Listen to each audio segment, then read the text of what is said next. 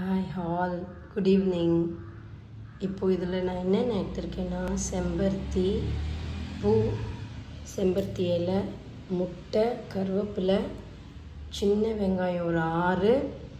அப்புறம் அது வந்து அரிசி களைஞ்சிய தண்ணியில் ஃப்ளாக்ஸ் சீட்ஸு தயிர். இப்போ நான் இது எதுக்கு உங்களுக்கு காமிக்கிறேன்னா எவ்வளோ சேனல்ஸ்லாம் நீங்கள் பார்த்துருப்பீங்க.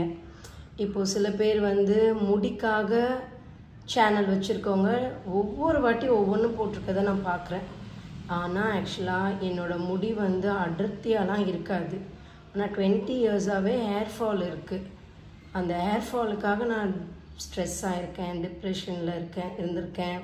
நிறைய கஷ்டப்பட்டிருக்கேன். நான் எது சொல்கிறேனோ அது என்னோடய லைஃப்பில் நடந்தது தான் நான் உங்களுக்கு ஷேர் பண்ணுறேன் இது ஆக்சுவலாக டீனேஜுக்கு ஹேர் ஃபால் இருக்குதுன்னு வச்சுக்கோங்களேன்.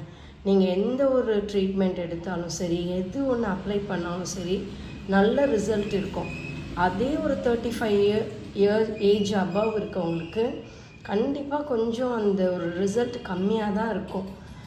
நீங்கள் அது இது அப்படி இப்படி நான் ட்ரை பண்ணுறதுக்கு இந்த இன்க்ரீடியன்ஸ் இதில் வந்து எக்ஸ்ட்ராவாக நீங்கள் வந்து பனானா யூஸ் பண்ணிக்கலாம். இதில் ஏதாச்சும் ஒன்று இல்லை அப்படின்னா மற்ற இன்க்ரீடியன்ஸை வச்சு அரைச்சி நீங்கள் போடலாம். கோகோனட் ஆயில் அந்த மில்க் இருக்குல்ல அதுவும் ஆட் பண்ணிக்கலாம். இதை தவிர்த்து நீங்கள் முடிக்கி இது போடணும் அது போடணும்.